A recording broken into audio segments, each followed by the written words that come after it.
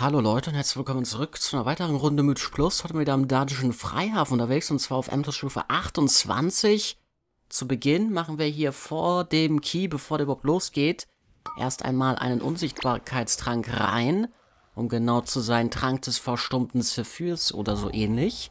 Und äh, damit skippen wir quasi die ersten Gruppen, sodass wir hier im Anschluss einen riesengroßen Pull machen können und dann Damage, Damage, Damage, ballern, ballern, ballern Ihr werdet jetzt aber gleich sehen, dass ich einen massiven Fehler mache.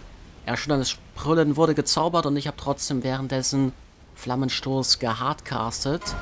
Wegen SKB-Proc und habe mich da interrupten lassen. Das war ein massiver Damage-Verlust und massiver Fehler meinerseits. Darf auf gar keinen Fall passieren. Und sorgt einfach dafür, dass die hier ein bisschen länger leben, als es eigentlich der Fall ist. Nochmal hier erschütterndes Brüllen. Das ist brandgefährlich, haut brutal rein. Vor allem mit den Platzen-Stacks hier sehr, sehr tödlich das Ganze. Aber das passt, weil hier das auf jeden Fall auch sehr, sehr gute Spieler sind. Ja, Legendenspieler haben wir hier gefunden. Und dementsprechend bekommen wir das alle hier gehandelt. Und schaffen es hier zu überleben. Das ist gut. Und ja, wie gesagt, auf 28 hier drinnen mit verstärkt stürmisch und platzend. Und die erste Gruppe haben wir hier geschafft, den ersten Pull mit BL. Wunderbar gespielt, einfach nochmal hier durch die Pfütze gelaufen. Bisschen lost auf jeden Fall. Aber das ist okay. Und dann laufen wir jetzt hier zurück.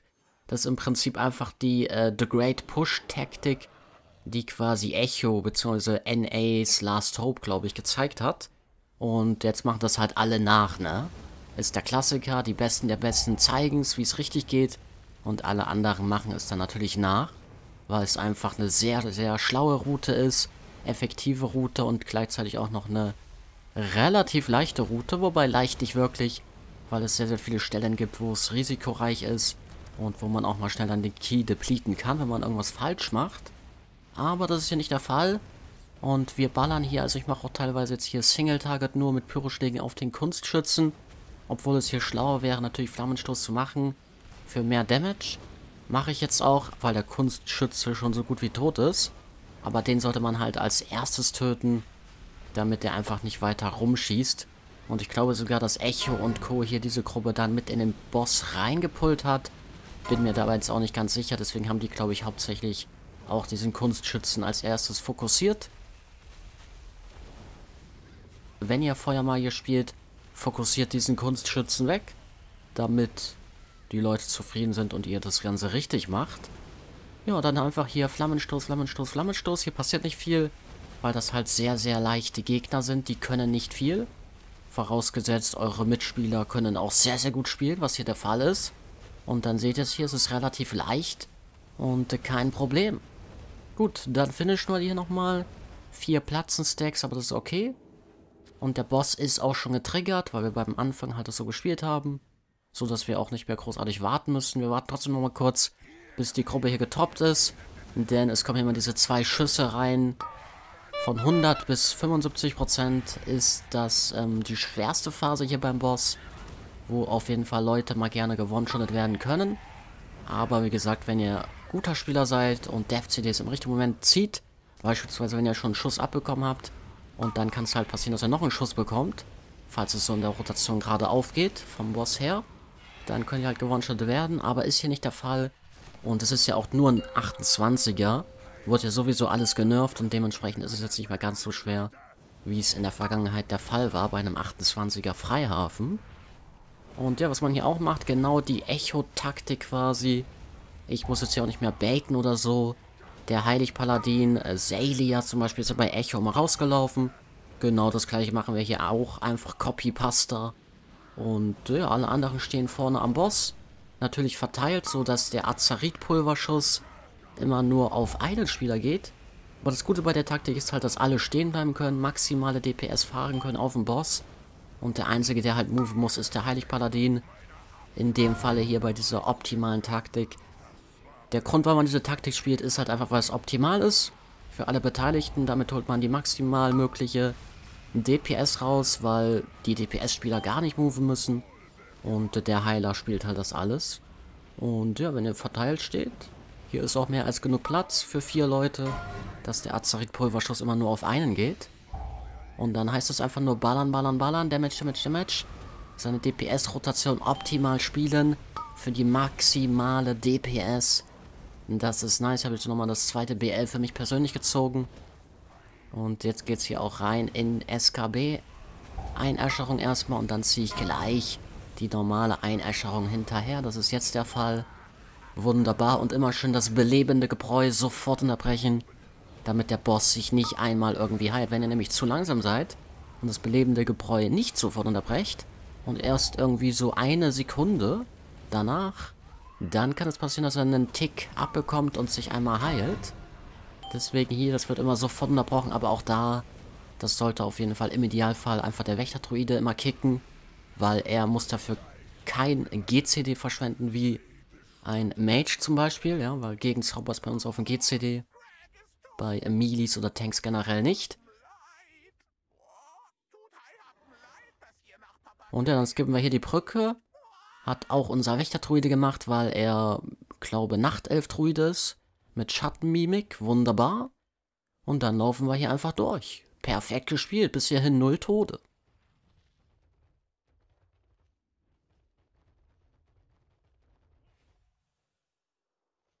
So, dann warten wir hier einfach auf den Tank. Er essen auch hier hinter dem Haus die giftigen Seifenlaugen. Oder wie auch immer die heißen. Und äh, das ist halt optimal gespielt an der Stelle. Und dann gehen wir jetzt hier rein, runter in den riesengroßen Pull. Mit dem Ungeziefer-Fänger, den solltet ihr im Optimalfall fokussieren, wobei gar nicht wahr. Im Optimalfall äh, fokussiert eher den Caster. Wir haben hier einen Caster in der Gruppe. Und ja, hier muss natürlich Frostschlag unterbrochen werden, gestunt werden, gestoppt werden, wie auch immer. Wasserblitz, so gut es geht, unterbrechen. Hätte ich jetzt hier beispielsweise machen können, aber ich kick einfach nicht, gehen einfach zwei Wasserblitze durch. Ist okay, jetzt habe ich mal einen gekickt. Äh, ja, muss man nicht so machen, kann man so machen. Auf höheren Keys ist dann auch sehr, sehr wichtig, auf jeden Fall jeden einzelnen Wasserblitz zu kicken.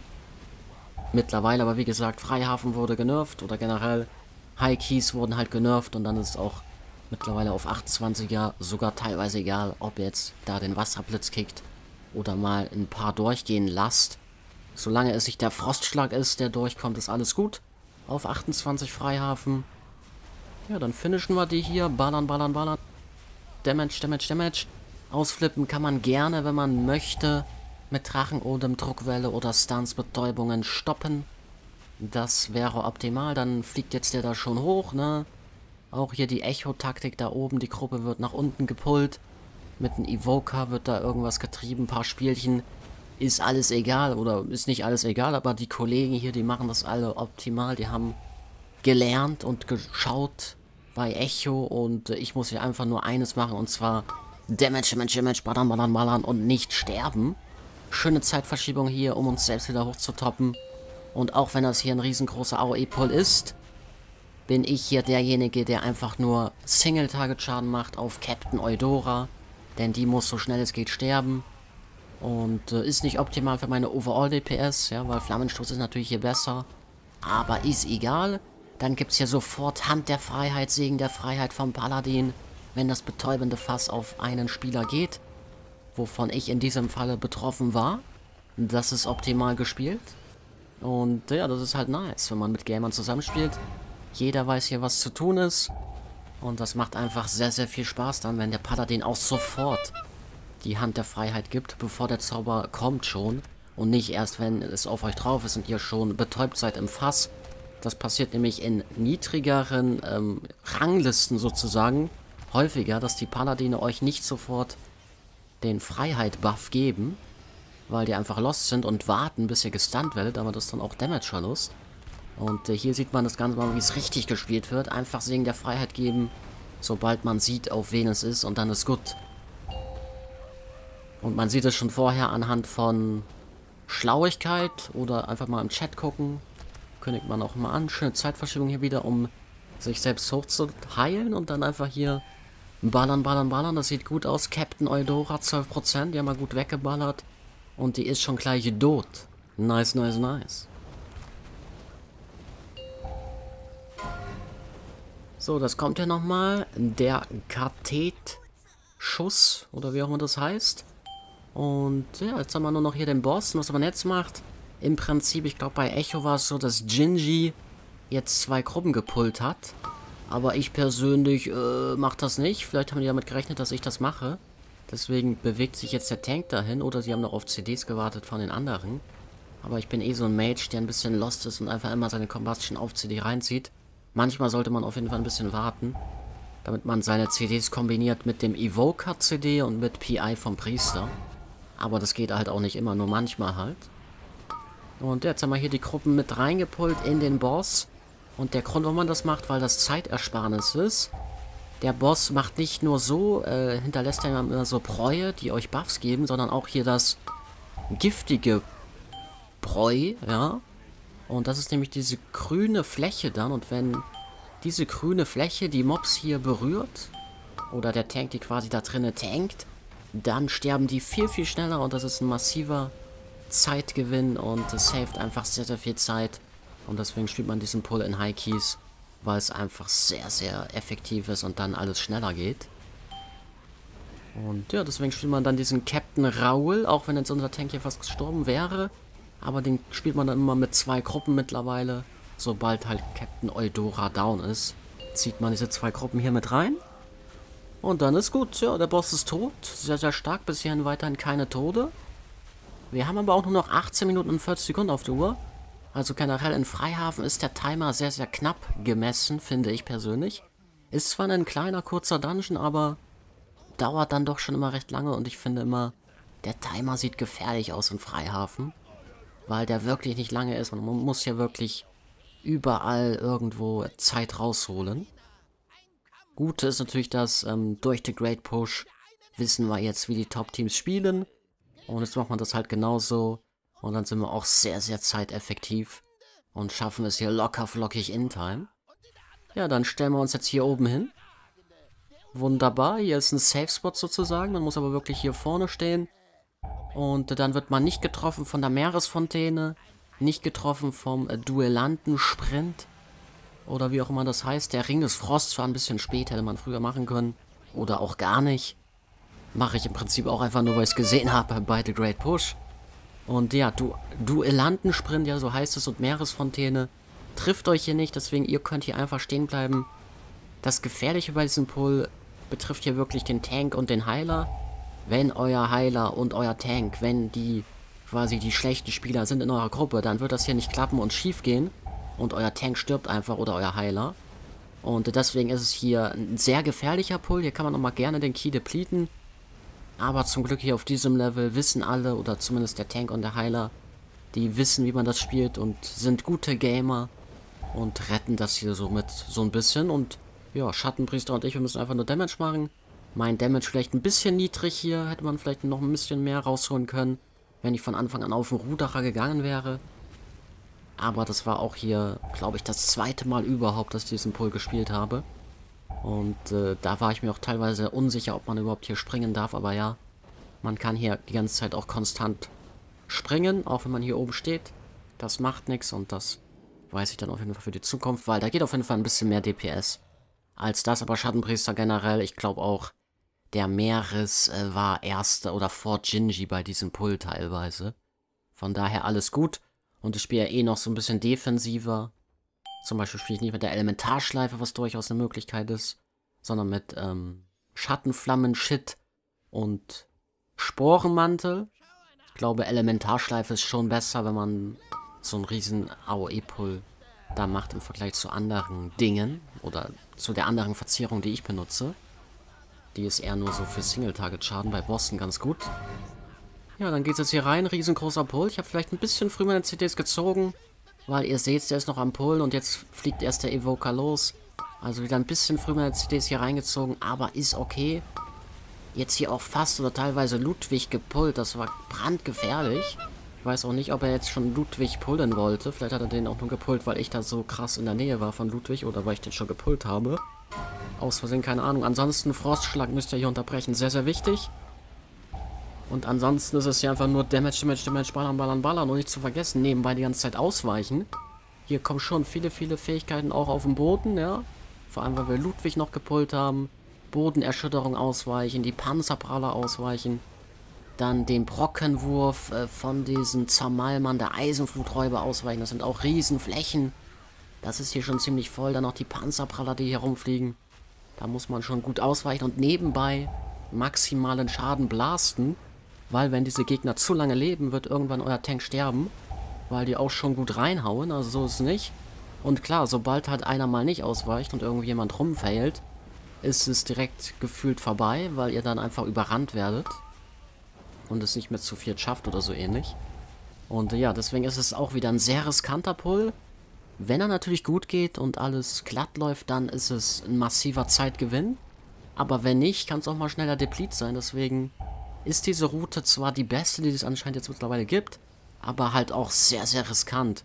Und ich würde fast sagen, in 820er Freihafen kann man wahrscheinlich noch ein bisschen sicherer spielen. Aber klar, die wollen halt hier schon 29er und 30er Freihafen, wenn nicht sogar 31er Freihafen timen. Und da müssen sie logischerweise diese Route spielen, um das einfach zu üben, zu trainieren, weil es halt einfach der richtige Weg ist, in noch höheren Keys so zu spielen. Ja, ansonsten hier ballern, ballern, ballern, damit Damage, Damage. Ich mache jetzt ja auch teilweise wieder die Single-Target-Rotation einfach auf den Ludwig, damit das RP schon mal triggert. Und die Zamalma, die finishen wir dann danach weg. Das ist ganz gut, weil ihr seht, Strohtag dauert jetzt 30 Sekunden, bis er erst vorbeikommt. Aber ist ganz gut, solange kann man noch die Zamalma hier finishen.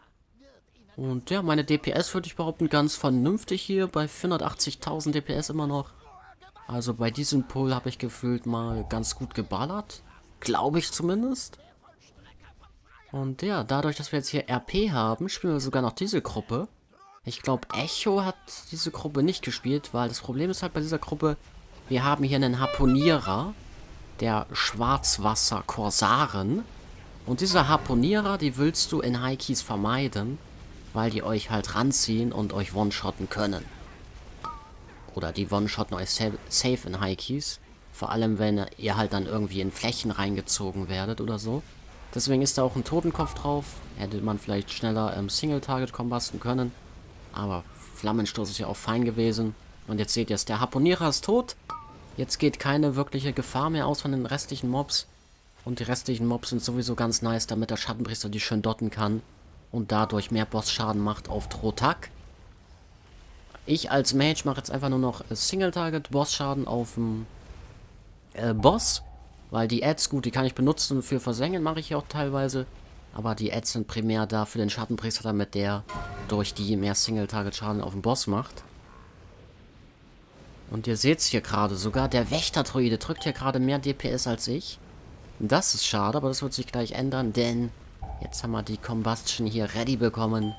Und jetzt heißt es ballern, ballern, ballern in den Drohtag rein, während wir die Haie die ganze Zeit kiten.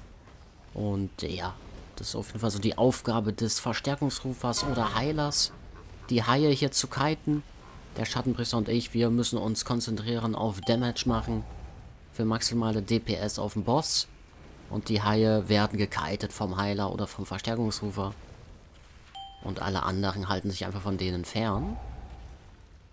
Ja, und dann sieht das hier gut aus. Immer noch keine Tode. Sehr, sehr sauber hier das Ganze gespielt. Man muss aber wirklich auch dazu sagen, diese vier Typen, mit denen ich jetzt zusammenspiele, ich habe die zwar random gefunden übers Tool, aber ich glaube, die sind zu viert im Discord.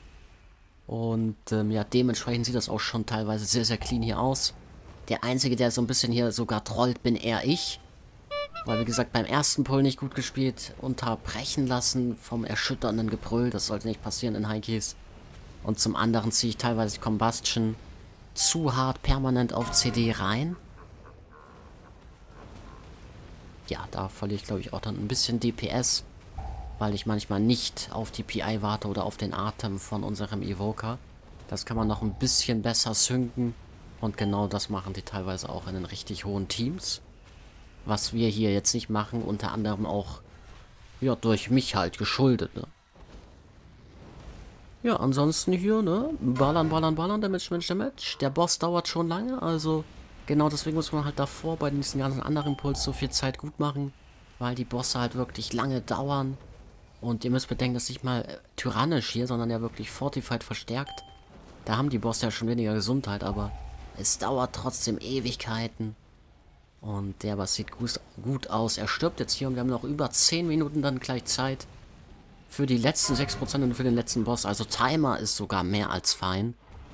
Wir sind richtig gut in der Zeit. Was jetzt ein bisschen bitter ist hier, dass wir diese Gruppe da, also wir sind hier ein bisschen lost. Ich hätte einfach rechts vorbeilaufen können, aber habe mich nicht getraut.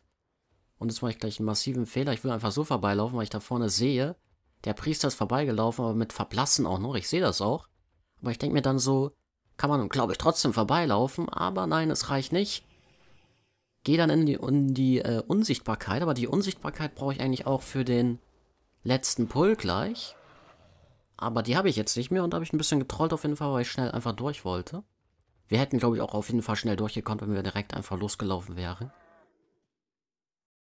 Jetzt merke ich es auch, dass ich keine Unsichtbarkeit mehr gleich habe für diesen Pull und entschuldige mich schon dafür. Lösung wäre jetzt beispielsweise eine Minute oder so zu warten, bis es wieder ready wird, weil wir haben ja erst genug Zeit. Aber die sagen, ähm, dass wir das nicht brauchen und der Priester macht einfach Meld, also Schattenmimik. Ist anscheinend auch ein Nachtelf-Priester. Und äh, ja, dann ist er gut Glück gehabt, ne? Ja, ansonsten, ich habe mich hier schon mal auf das Expeditionsjack gestellt. Da können sie dann einsteigen, damit wir jetzt hier skippen können. Ja, ich bin ja noch ein bisschen lost, aber dann bin ich doch hingelaufen. Perfekt. Hab das halt auch noch nicht so oft hier gemacht, diese neue Route. Da ist man halt teilweise noch ein bisschen lost, aber mittlerweile weiß ich natürlich, wie das Ganze hier funktioniert. Ihr seht, was hier passiert ist. Ihr müsst erst die Gruppe vorm Boss pullen. Während ihr die gepullt habt, wird der Boss gepullt. Dann resettet der Kollege Priester oder der Mage mit Unsichtbarkeit oder Schattenmimik. Und dann hat man nur den Boss gepullt und der Trash, der kommt nicht. Ihr müsst es halt immer in der Reihenfolge machen, dass ihr erst den Trash pullt, dann den Boss pullt, während der Trash gepullt ist. Hier übrigens auch massiv getrollt. Ein Kanonenspeerfeuer gefressen. Aber da seht ihr auch diese Nerves, ne? Ich bin nicht mal geprockt, also Kauterisieren ist nicht mal geprockt. Ich habe einfach einen so einen Einschlag überlebt. Normalerweise ist es so ein High-Keys. Wenn du einmal irgendwo drin stehst, direkt One-Shot. Aber mittlerweile, wie gesagt, es wurde alles genervt. Und äh, da sieht man sehr verzeihlich auch mittlerweile 28er Keys. Ja, dann haben wir die Gruppe hier gepullt. Wir spielen das auch ein bisschen umgekehrt. Nicht so wie Echo. Ich glaube, Echo hat auf der anderen Seite gespielt. Wir spielen die hier. Kann man machen. Wie, kann man eigentlich hier besser spielen, weil man dann besser die eine Gruppe da pullen kann. Und ja, man spielt halt die eine Gruppe hier mit dazu, um die letzten Prozente voll zu machen. Das Einzige, was gefährlich ist, ist halt die Meeresfontäne. Normalerweise am besten wäre es, wenn man zusammensteht und zusammen wahrscheinlich ausweicht. Und ja, schmerzhafte Meditation habe ich hier auch teilweise unterbrochen gestoppt. Ich glaube, das will man absichtlich durchgehen lassen sogar. Damit die sich selber schneller töten, die Mobs. Aber ich habe sie einfach die ganze Zeit gestoppt. Ja, ansonsten, das Ad ist noch so ein bisschen nervig und problematisch. Aber eigentlich sehr, sehr leicht. Ich habe extra dafür Ring des Frost geskillt. Und ja, dann kann ich immer wieder einen Ring des Frost auf jeden Fall machen. Vor dem Ad oder halt einfach mit Frostnova. Und das Wichtige bei der Taktik ist natürlich, dass er hier sehr, sehr gut ausweicht. Und sobald dann die zweite Phase beginnt, ab 60% circa oder nach 60%, was gleich der Fall ist, setzt man noch ein Ad hier. Ring des Frosts geht raus für das Ad.